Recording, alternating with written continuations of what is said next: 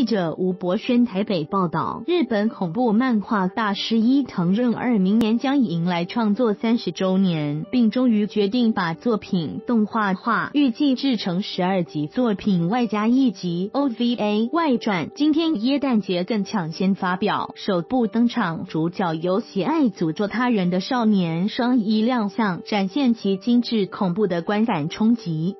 木棉花国际公司副总经理杨国祥表示，代理伊藤润二动画版在台播放，其中有制作公司挑选作者知名作品，如《魔性美女富江》《忧郁公主》或《鱼少女》等精选恐怖经典，制成十二集动画，外加一集 OVA 外传，总共有十三部动画作品将在明年一月起与日本同步上映。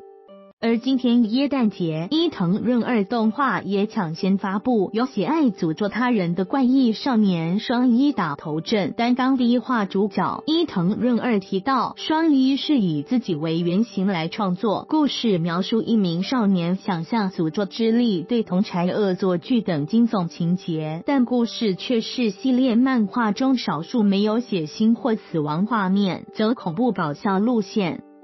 杨国香说：“碍于电视尺度，这次动画制作将采海外放送版，把部分血腥画面做处理，所以不会变成限制级，但仍不失伊藤润二独特的恐怖气氛营造。未来日本将出版 DVD 收录完整精华，至于台湾上市日期仍待商议。”